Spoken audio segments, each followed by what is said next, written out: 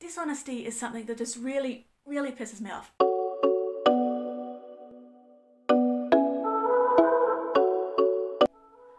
Hi friends, thanks for clicking. I'm the Pink Vegie. If you're into health, fitness and looking your best, please subscribe for weekly videos. Do you like the red curtains? Um, I'm just in my bedroom, but on screen I realised I look like I'm in a fancy cinema. Um, it's not fancy, but anyway. I'm very, very faded pink vegie today. I've got some hair dye coming of a brand I haven't used before, so that'll be an upcoming review. But as for today, I'm pretty pissed off actually. Um, so I wanted to have a bit of a rant. I've been meaning to do a video about how deceptive food packaging can be, um, and I will still do that video, but I wanted to put this one as a separate um, issue because I think this one is just, it's more than deceptive, um, really, in my opinion. Um, so about three or four years ago, I was looking into collagen supplements, and um, so before I had my stomach surgery, I was um, thinking that that might help my separation naturally without having surgery.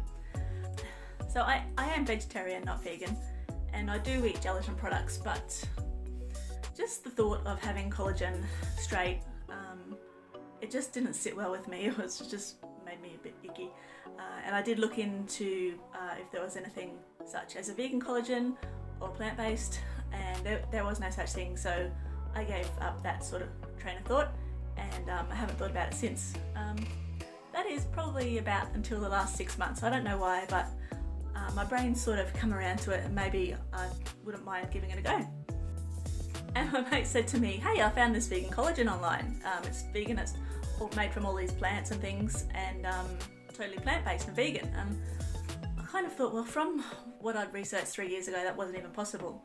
But I haven't looked into it in that long, so maybe something's happened. Maybe they've had some development, and they can artificially synthesize it now or something. I don't know. Um, she's a pretty intelligent lady, um, pretty savvy with things like that.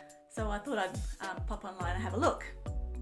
Um, so as it turns out, there is still no such thing as vegan collagen. There's a lot of buzzwords in um, food and health and fitness over the years, and one of the buzzwords at the moment I think is collagen and vegan, and companies have taken advantage of this. You'd be surprised how very little regulation there is around food and supplement packaging and labelling. Um, unless it says organic or makes an actual health claim, um, manufacturers are pretty free to um, use things very deceptively. A year ago, while I was at Woolies, I was just browsing in the health food section where all the protein products are, and there was this one brand called Dose & Co, and it had on there dairy-free collagen. And I'm like, wow, dairy-free. So I had a look on the back, and it's it is dairy-free, but it's from bovine sources, so it's cow product. It is cow collagen, but on the front they've got dairy-free, and they might argue that is because some people have dairy allergies, um, but to me, I think they've done that on purpose. Um, and they have another uh, product here as well, which is got dairy free all over it, dairy free, dairy free, and also made with coconut milk. So if you're the unsuspecting consumer and you see dairy free and coconut milk, you'd reasonably, very reasonably think it's vegan. Um, but if you look on the back, it is still bovine collagen and there is and there is no such thing as vegan collagen. The vegan collagen that my friend was telling me about was from a brand called Edible Beauty. And it says right on the packaging, native collagen powder. Plant-based collagen. You flip it over to the back, it's got a whole heap of ingredients which are basically a bunch of plant extracts and no, there's no collagen in there. Um, collagen is a, a protein and these plants don't have collagen in them because it's impossible. If you do scroll down to the fine print of the product information, it, does say supports the production of collagen. So it's not collagen, it supports the production of collagen. And then you've got this one, the Plant Fusion one, which has on it collagen beauty plant peptides.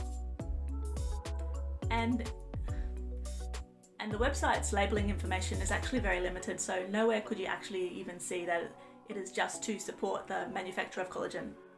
And you have the Beauty Boost product, a vegan collagen activator capsule, And if you read again further down the fine print in the item description, the uh, collagen only comes from animal sources.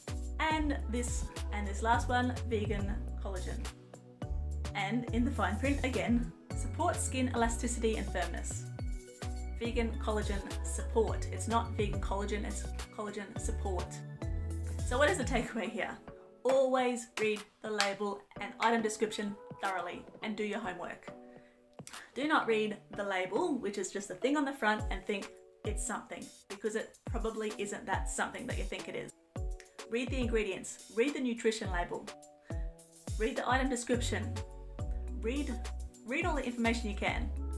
Some companies might market themselves as the warm, fuzzy, uh, natural, alternative, organic, vegan friendly um, thing that they want you to think they are, but they are trying to make money. They want you to buy. They will do anything deceptive that, that they are allowed to within the law. Dishonesty is something that just really, really pisses me off, and I think even worse than outright lies is being deceptive, and this is what these companies are doing. They're being deceptive, um, labeling things in such a way that it's not an outright lie, but it, you pretty much like reasonably could assume that it is what it says it is, but it's not. And that just really, really grinds my gears. So, always do your homework. So, thank you for listening to my rant. If you liked it, give it a like and subscribe. I hope you found it useful. If there's any collagen brands that you do like, I am still looking for one, so leave a comment, let me know what it is, and I'll see you next week. Mostly found in connective tissue such as cartilage, bones, tendons, ligaments, and skin.